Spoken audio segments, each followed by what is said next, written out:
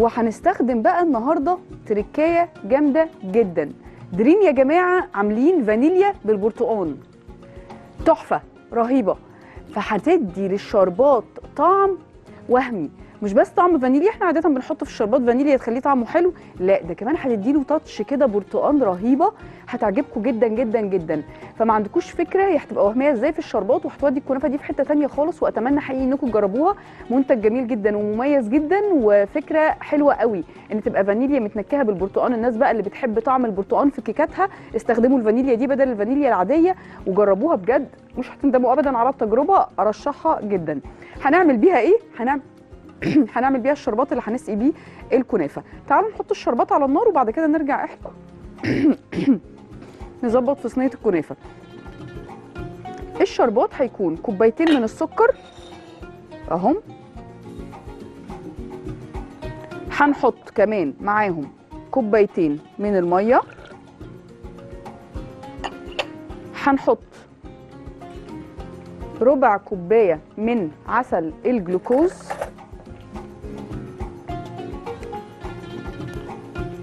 عسل الجلوكوز حلو قوي موجود عند كل العطارين ومحلات مستلزمات الحلويات دلوقتي. بيخلي الشربات يظبط جدا ما بيخليهوش يسكر خالص. الناس اللي عندها مشكلة إن الشربات بيتقل بيسكر بيعمل مشاكل كلها عسل الجلوكوز بيحلها. فأتمنى إنكم كده على أول رمضان تجيبوا برطمان هو مش منتج غالي خالص وتستخدموه في الشربات بتاعكم. بيبقى ماسك كده شوية فهنسيحه دلوقتي بس تمام الشربات على النار. هفضل بس كده إيه أقلب بالمعلقة دقيقة بس يسيح الجلوكوز اللي على المعلقة ماسك. بصوا يسيحوا على طول. ندي تقليبة سريعة.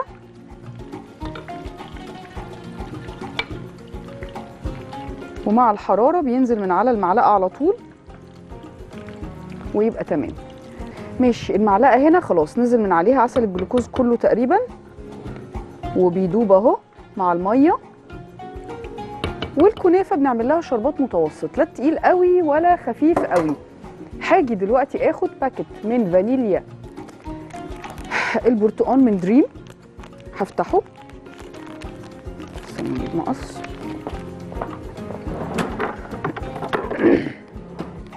يلا بينا. هنفتحه وهنحط بالقدر اللي إحنا عايزينه. فظيعة.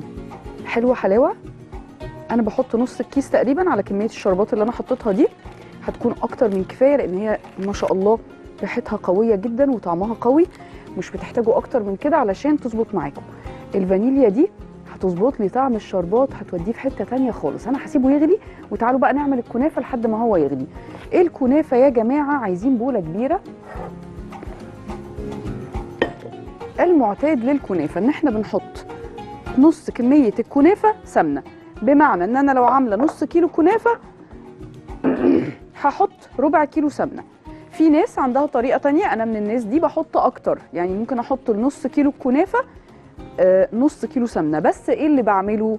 بصفيها في الآخر. وأشيل السمنة دي من الصينية. يعني أنا بعمل كده عشان تاخد لون ذهبي من كل النواحي وتستوي كويس قوي وتبقى كريسبي ومقرمشة من كل حتة. بس بعد كده بقوم مصفيه الصينية بقوم مميلاها كده منزلة كل السمنة. وبشيل السمنة دي وأرجع أستخدمها تاني في الكنافة. يعني ما بتترميش مش استخدام مرة واحدة. فممكن برضو تعملوا كده. ده هيكون لذيذ جدا وعملي جدا ومفيد جدا. أنا بحب أفرك بجمد الكنافة وبحب أفركها وهي متجمدة. تبقى بالقوام ده. وباجي أحط السمنة بالشكل ده. وأبدأ أفرك الكنافة بالسمنة لحد ما ألاقي كل شعراية كنافة متغلفة بالسمنة تماما. هفضل أعمل كده لحد ما الكنافة بتاعتي تشرب السمنة تماما وتدوق وتتغلف بيه. مش عايزة أقول لكم بقى كل اللي يعدي يقول لي إيه ده؟ الشربات ريحته حلوة قوي كده ليه؟ عشان الفانيليا اللي بالبرتقال طبعا عاملة ريحة فظيعة. هشيله وأسيبه يهدى ثانية.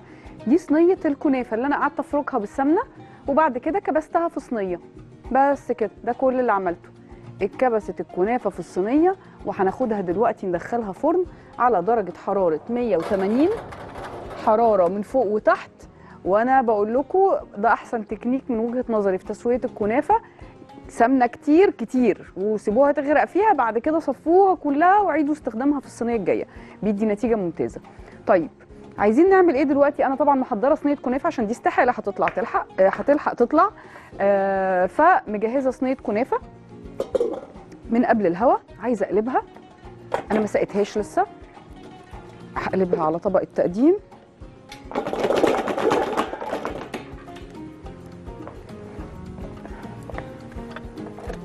نجيب حاجة نرفع الطبق.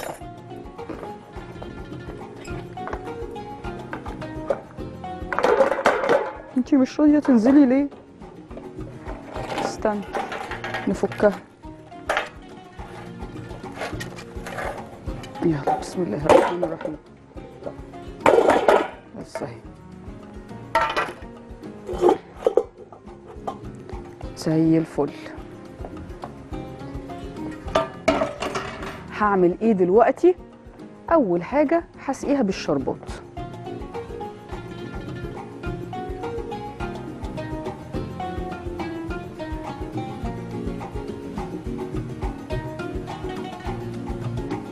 بيبان الأول إنها ما بتتشربوش بس شوية هتتشربوا لا تقلقوا خالص. تسقوا طبعا شربات زي ما أنتوا عايزين بالقدر اللي أنتوا عايزينه ده حسب الذوق. وأنا بحب كده أجيبه من عند تحت. عشان يبقى ضامنه إن الكنافة بتاعتي متشربة من كل حتة. بنسيبها شوية بنلاقي طبعا كل الشربات ده اتشربته واتشبعت بحلاوته وبقت جميلة جدا جدا جدا. ممكن نساعد كده؟ ننزل من على الأطراف.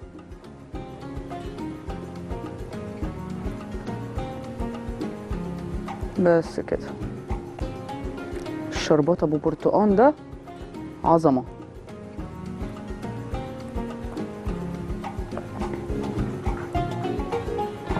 وهاجي دلوقتي. هعمل إيه؟ هعمل كده. هاخد حتة قشطة.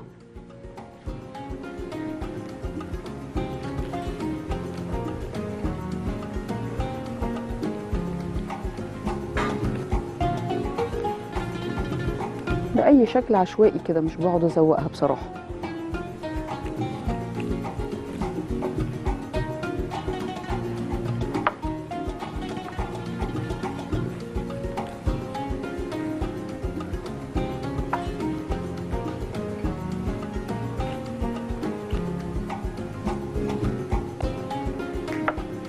ونبدأ. نحطها كده كور. موضوع عشوائي قوي يا جماعة يعني ما تقعدوش تحنتفوا. ده حابب بقى يعملها بمعلقة آيس كريم معرفش إيه الكلام الموضوع مش مستاهل بصراحة. وادي كده آخر واحدة بعد كده هنحط واحدة في النص.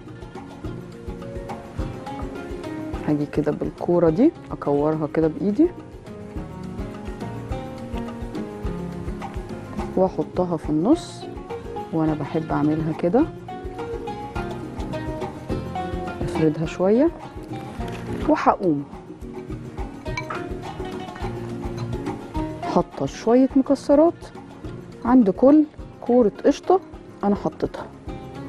فيبقى كده شكل الصينية إيه؟ طالعة من إيد حلواني وهي من إيديكم الحلوة أحلى كمان. ودي كده صينية الكنافة بالقشطة اللي استخدمنا فيها فانيليا دريم الجديدة اللي بالبرتقال. عظمة. ادي صينية الكنافة.